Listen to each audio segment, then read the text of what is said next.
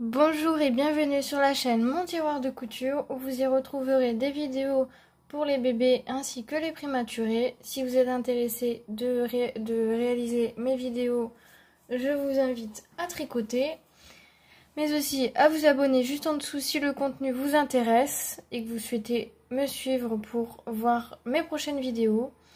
Aujourd'hui, ça va être euh, tricoter un bonnet béguin euh, avec des oreilles d'ours. Donc, ça sera avec une couleur grise, comme vous pouvez le voir, et des aiguilles numéro 4. Voilà, les petites aiguilles. La vidéo, euh, j'ai pu la réaliser grâce au site internet Un vent de mode que j'ai trouvé sur Pinterest. J'ai contacté la personne qui, est, qui tient ce site internet et qui m'a autorisé réaliser la vidéo et à lui envoyer le lien. Donc je vous mettrai le lien du site internet juste en dessous dans la barre de description si vous souhaitez aller voir ces explications par écrit et avoir un complément avec ma vidéo en version explicative visuelle. Sans plus tarder, on commence le tuto. Alors, pour commencer, vous aurez besoin de monter 68 mailles sur vos aiguilles numéro 4. Donc il faut prendre une longueur suffisamment grande, sans trop grand, parce qu'après on a trop de fils en attente. On va prendre à peu près ça. Et on monte nos mailles, nos 68 mailles. 1, 2, 3, 4, 5, 6, 7, 8, Quand vous avez monté vos 68 mailles, vous allez venir faire des côtes 1-1. C'est-à-dire que vous allez faire une maille à l'endroit, une maille à l'envers. là, j'ai laissé trop de fil en attente, mais c'est pas très grave. Je m'en servirai pour la couture ou des choses comme ça. Donc, on fait une maille. Ah, attendez. Hop. fait une maille à l'endroit. On bien le fil. On passe devant on fait une maille à l'envers. Et on vient refaire une maille à l'endroit, une maille à l'envers, une maille à l'endroit, une maille à l'envers. Tout simplement, tout le rang, une maille de chaque. Une maille à l'endroit, une maille à l'envers. Bon là les mailles sont un peu dures parce que évidemment bah, les mailles viennent juste d'être montées. Donc c'est un petit peu compliqué. Voilà. Donc je vous laisse faire euh, les côtes 1-1 pendant 6 rangs. Donc je vous invite à prendre un compte-rang ou euh, une feuille avec un crayon et noter vos rangs. Moi je vais prendre euh, un compte Voilà, un petit compte On va mettre un, voilà. Et je vous retrouve quand vous aurez fait les 6 rangs de côtes 1-1. Juste après. Quand vous aurez terminé de tricoter les 6 rangs de côte 1-1, vous allez venir tricoter du point de mousse pendant 9 cm, soit 21 barres de point de mousse. Donc c'est parti pour tricoter du point de mousse pendant 9 cm de hauteur et 21 barres de point de mousse. Donc vous en avez pour un petit moment. Mais ça va être très rapide puisque c'est du point de mousse. Donc toujours les mailles à l'envers.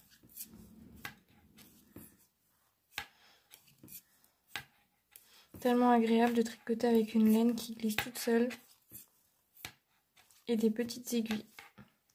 Donc je vous retrouve dans 9 cm et dans 21 barres de point de mousse.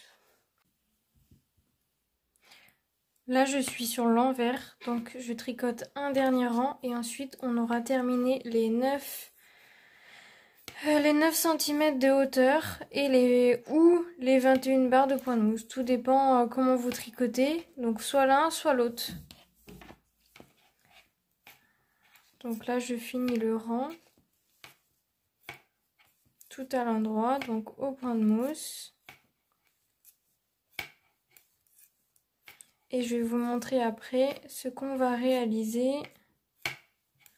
Vous allez voir, c'est relativement simple.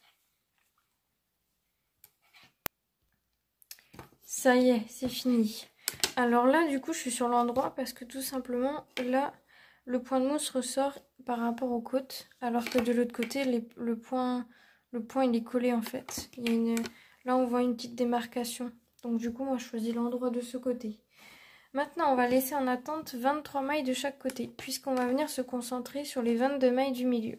Donc là, vous allez laisser 23 mailles, et de l'autre côté aussi. Moi, je vais utiliser des marqueurs pour mettre dans le milieu. Ça sera beaucoup plus simple pour moi. Après, vous pouvez prendre euh, un arrêt de maille euh, des marqueurs, une aiguille, ce que vous voulez. Donc c'est parti.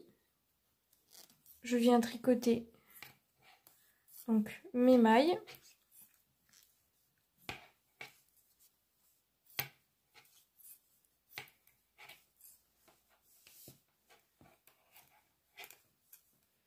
Donc je fais ça avec vous pour que vous puissiez bien voir comment je fais.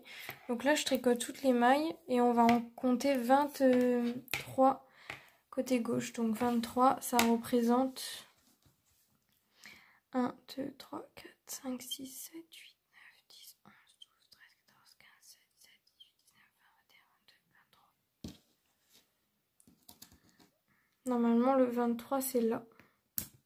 Je vais mettre l'arrêt de maille maintenant. Voilà le ferme pour éviter. Voilà. Donc je recompte 2, 4, 6, 8, 10, 12, 14, 16, 18, 20, 22, 23. Et là, normalement, je dois en avoir 23 aussi. Donc, on continue de tricoter et je vous expliquerai bien après. Donc là, j'en ai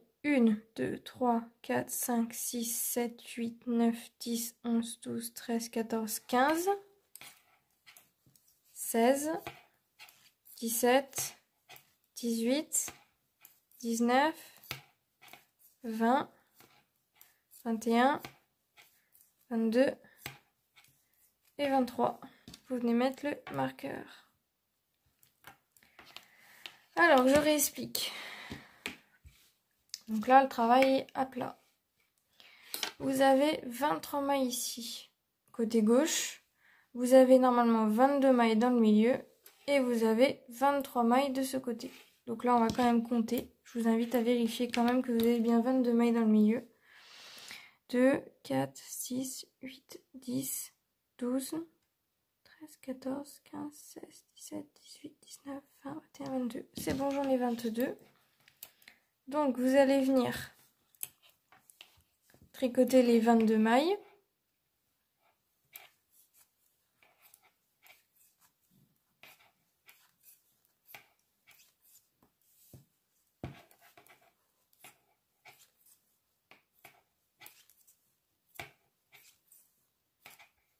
Donc là, on va, on va tricoter toujours du point de mousse sur tout le bonnet. Seulement, là, on va se concentrer sur les 22 mailles centrales pour euh, faire le tour de tête, en fait. Enfin, tout le tour, vous allez voir.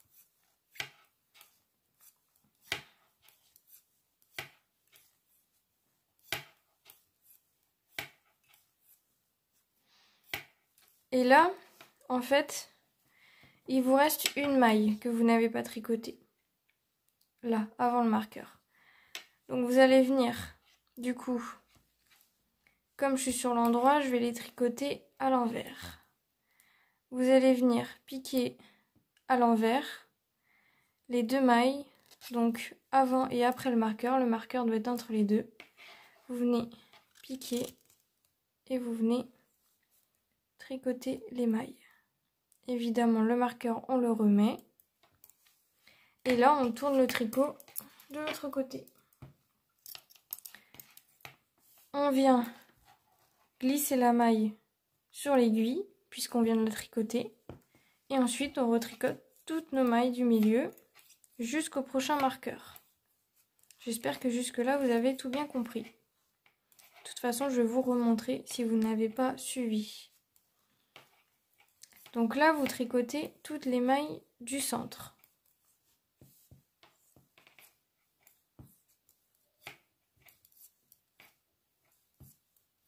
On arrive bientôt au marqueur.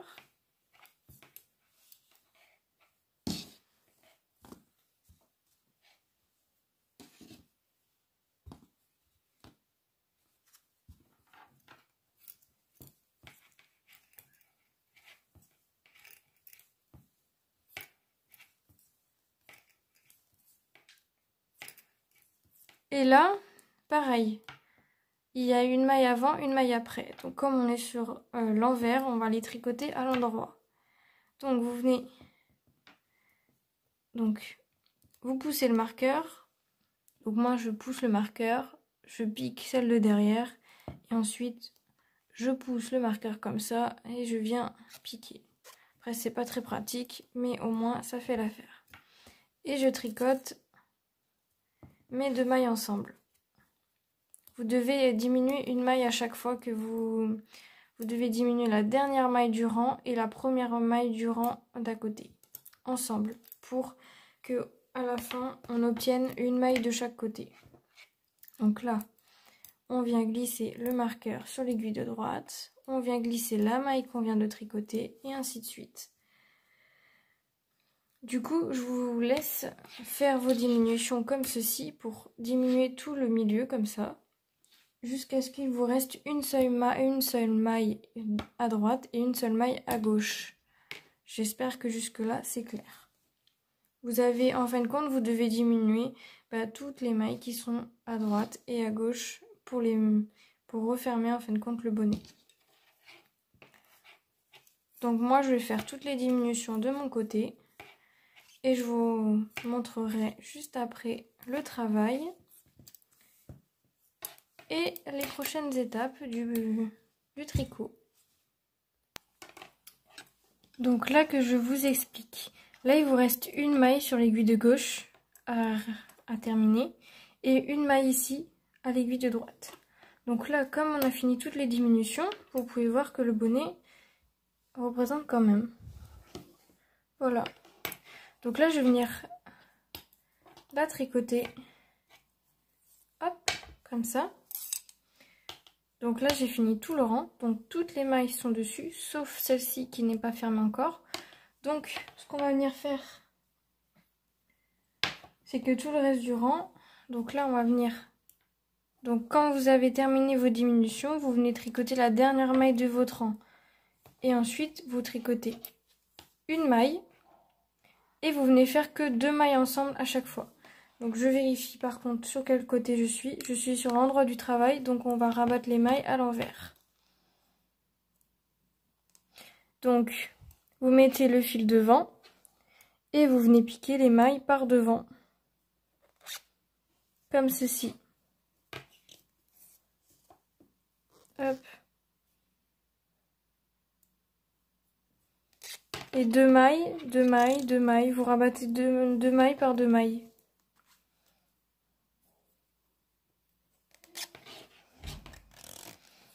C'est ma technique, évidemment. Donc, à vous de rabattre les mailles comme vous avez envie, si c'est à l'endroit ou à l'envers. Moi, je fais à l'envers parce que je suis sur l'endroit du travail. Donc, je fais le sens contraire.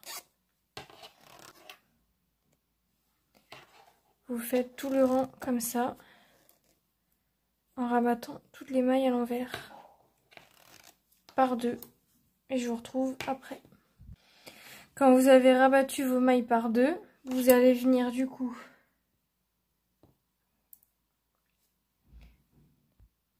On va venir rabattre toutes les mailles pour ensuite relever les mailles. Donc là, on vient les rabattre.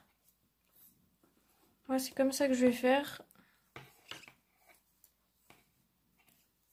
J'espère que vous voyez bien à la caméra, surtout, c'est le plus important.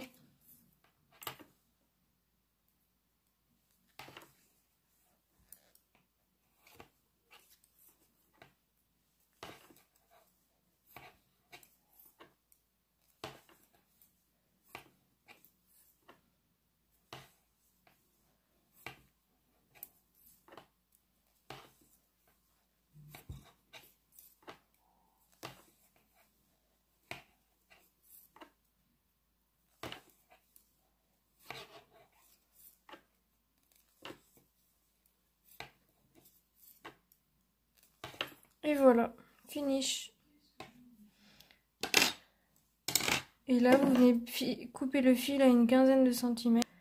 Et vous venez prendre la boucle, rattraper le fil et faire un nœud. Voilà le travail. Donc voilà le béguin. Là, on a fait que le bonnet. Il va falloir venir relever les mailles pour faire les côtes en bas et, et ensuite faire les petits liens. Donc là, on va venir avec notre aiguille. On va venir relever des mailles ici dans les sur le bord.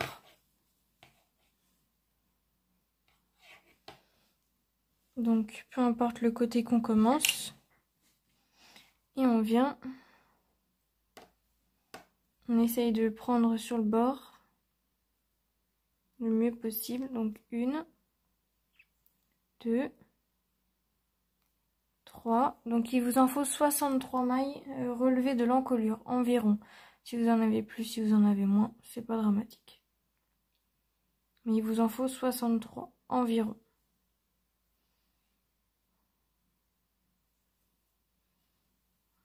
3 4 5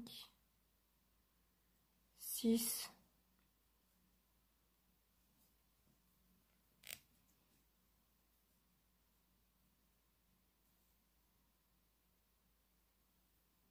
Alors attendez que j'essaye de choper. En fin de compte, vous avez des petits... Des petits... Des petits... Comment dire Au bout des rangs, vous avez des mailles. Il faut piquer dedans, tout simplement, pour essayer de les relever. Au début, c'est un peu compliqué, je vous avoue. Mais après, ça roule tout seul. Donc il en faut 63. Je vous retrouve quand j'ai fini parce que sinon la vidéo va être beaucoup trop longue et ça va vous ennuyer. Donc on se retrouve euh, à la fin de relevage de mailles pour vous montrer la prochaine étape. A tout de suite. Une fois que vous aurez relevé vos 63 mailles environ, ça doit vous donner ceci en fait. Tout le bonnet doit être dessus votre aiguille. Toujours les aiguilles numéro 4. Et avec la pelote de laine, vous allez venir faire 4 rangs de côte 1-1 voilà pourquoi il fallait relever les mailles. Je règle juste un petit souci. Là.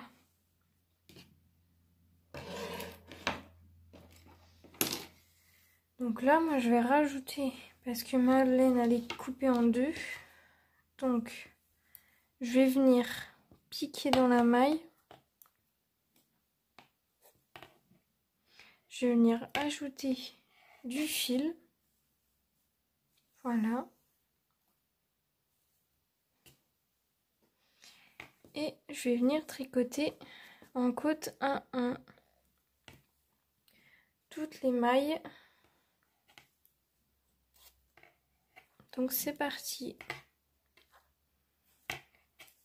3. Vous pouvez les compter évidemment, mais euh, le 63 c'est marqué, c'est bien marqué environ. Je vous inviterai Allez vérifier sur le site internet si vous le souhaitez. Que je vous mettrai bien évidemment en barre de description. Et là, du coup, on fait toutes les mailles.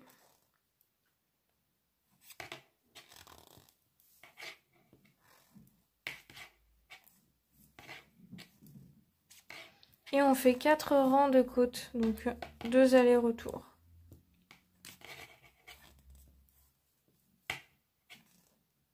Là, je commence avec vous, mais je vais vous laisser finir de votre côté. Alors là, la maille, elle est entière. Oui, c'est ça. Donc, je fais tout mon rang et je fais mes quatre rangs de côte 1-1. Et je vous retrouve euh, à la fin pour le résultat. Mais euh, n'oubliez pas vous faites les quatre rangs et après vous ne rabattez surtout pas les mailles, il y a encore d'autres étapes derrière. A tout de suite Quand vous avez terminé de faire vos quatre rangs de côte 1-1, donc ça vous donne ceci, le milieu du bonnet est juste là et les côtés sont de chaque côté. Là on va venir en fin de compte faire le rang, donc moi je vais faire un rang de plus puisqu'on va venir rabattre les mailles du milieu. 1,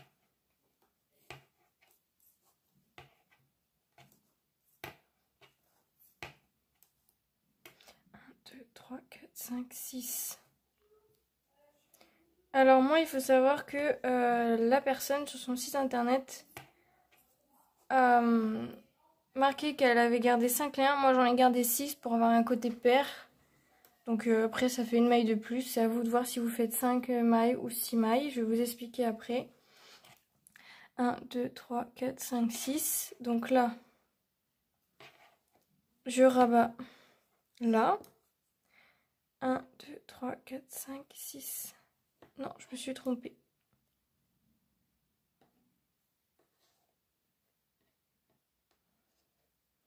faut que je fasse une maille de plus, donc excusez-moi pour la gêne. Je vais recommencer. Et bien vous expliquer. Alors, donc là, 1, 2, 3, 4, 5, 6. Ensuite, vous faites donc 8. Ensuite, vous faites à l'envers. Donc là, j'explique. 1, 2, 3, 4, 5, 6, 7, 8. Là, vous avez 8 mailles. Donc vous allez venir rabattre la septième sur la huitième pour avoir 6 mailles. Et donc c'est parti. Vous savez quoi On va faire toutes les mailles à l'endroit, ça sera bien plus simple. Hop. Et là on rabat toutes les mailles du milieu. Bien évidemment, vous serez obligé de couper le lien pour euh, finir le petit lien.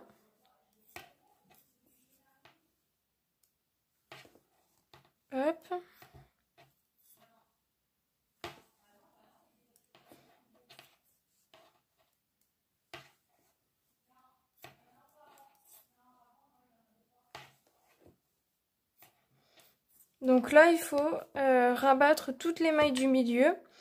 Alors, soit vous gardez 5 mailles pour créer les liens sur les côtés pour mettre au niveau du, du cou, pour nouer le cou. Ou soit vous en gardez 6, moi j'en garde 6 parce que c'est un côté pair et je trouve ça mieux. Après, chacun voit comme il a envie. Donc soit 5, soit 6. Après, à vous de mettre plus grand ou plus petit. Moi, je trouve que 6, c'est très bien, à mon goût. Donc là, je rabats toutes les mailles du milieu. Et je vais m'arrêter à la fin du rang et on va tricoter le lien de gauche. Donc je vous retrouve à la fin parce que si je vous montre tout comment je rabats les mailles, vous, allez trouver ça très long. Donc à tout à l'heure donc là, je viens de m'arrêter. Donc vous avez un grand vide dans le milieu normalement. Vous avez un lien là et un lien à gauche. Donc j'ai 6 mailles. Donc 1, 2, 3, 4, 5, 6. Et quand vous avez les 6, c'est parti pour créer le lien. Vérifiez bien que la sixième est sur votre aiguille droite. 1, Là, il y en a 2, 4 et 5. Et là, c'est parti. Vous continuez à tricoter que sur ce côté-là. Puisque le fil maintenant est de ce côté-ci et puis de l'autre côté. Donc maintenant, vous allez alterner les deux côtés et vous allez tricoter, continuer à tricoter.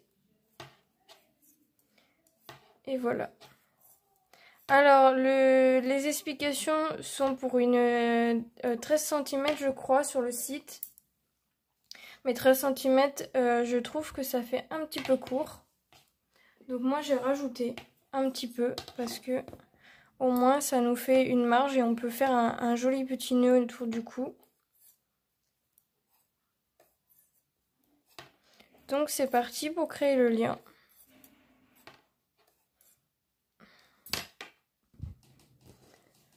Pour vous donner une idée approximative par rapport au lien, je vais, je vais faire 35 barres de points de mousse. Donc là, j'en ai fait qu'une.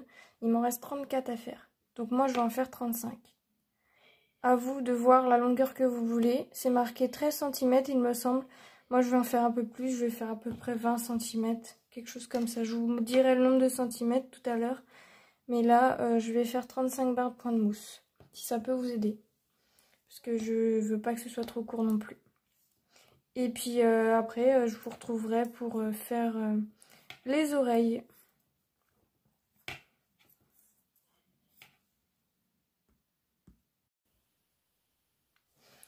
Donc le bonnet est terminé. Je viens de terminer les liens. Donc j'ai fait 35 rangs de points de mousse. Et du coup la longueur, je vais vous donner 100 cm. Donc Donc faut compter à partir de là. Et ça fait 18 cm et demi. Et de l'autre côté, est-ce qu'on a pareil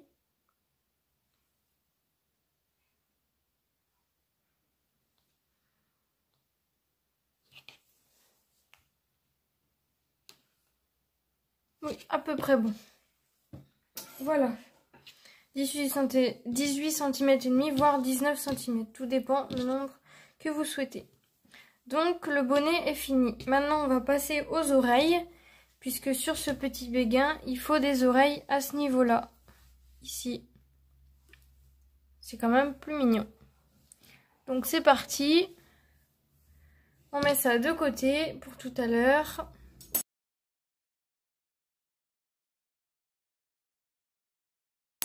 On prend nos aiguilles numéro 4 notre laine, toujours la même, de la même couleur, c'est mieux. Et on va monter 6 mailles, donc pas besoin de prendre beaucoup de fil. juste une petite longueur suffit amplement. Et là, on vient monter nos 6 mailles, 1, 2, 3, 4, 5, 6, je vais recommencer parce qu'il y a trop de fils.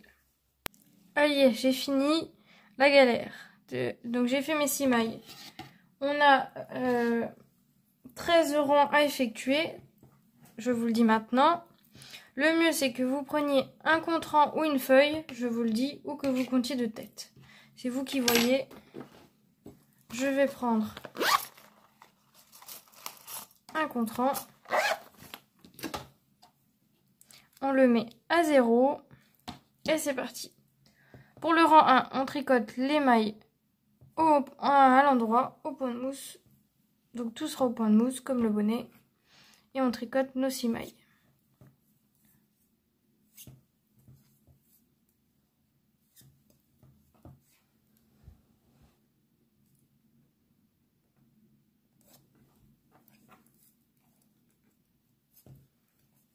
les mailles tricotées. Le rang 2, on va augmenter une maille de chaque côté à côté du bord. Donc, on tricote la première maille, une. Là, on va venir faire une augmentation. Donc, on lâche pas la maille et on vient piquer à l'arrière. Et hop, une augmentation. On vient tricoter la fin du rang. Et à cette maille-là, on va refaire une augmentation des deux côtés.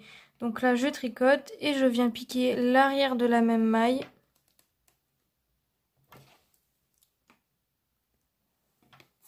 Et on la tricote et on rabat et on récupère la maille. Et on tricote la dernière maille. Comme ça. Le rang 3, on le tricote normalement.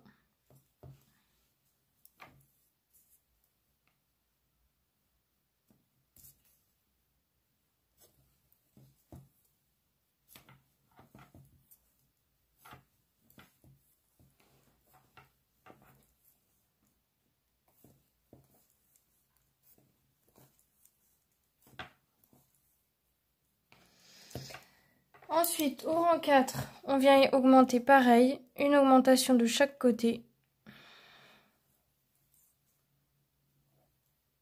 On pique, on vient récupérer qu'un jeté, et on vient à l'arrière piquer la maille, et ainsi de suite. à une maille du bord, donc moi pas la première mais la deuxième maille, je fais une augmentation. Et voilà. Mince,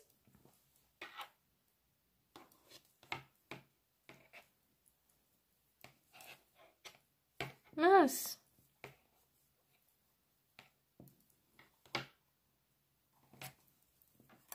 Voilà.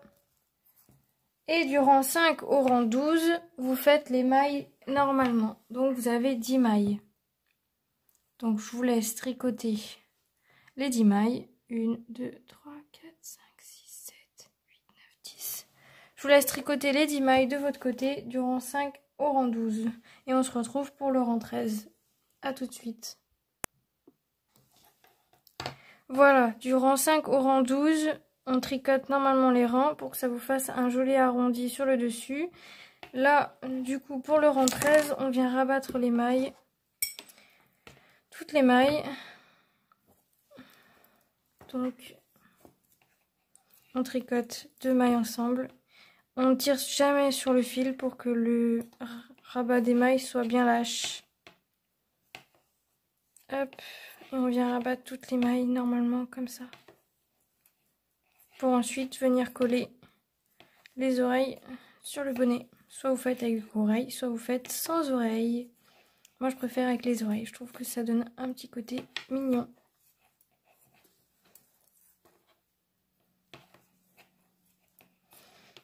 N'oubliez pas de lâcher un petit pouce bleu pour me soutenir. Ça nous aide énormément, nous créateurs vous abonner en bas par le bouton rouge et laisser un petit commentaire. Et voilà.